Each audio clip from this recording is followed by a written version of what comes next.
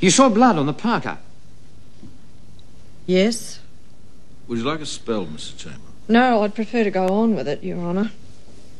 I don't want to have you answer questions when you're feeling distressed. Would you like me to give you a ten minute break? No, I'd prefer to go on. This has been going on for two years, and I'd like to get it over with.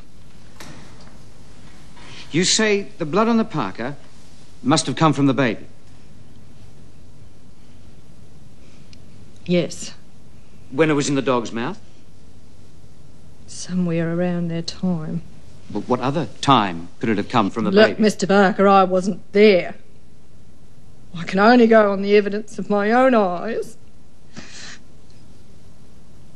We're talking about my baby daughter. Not some object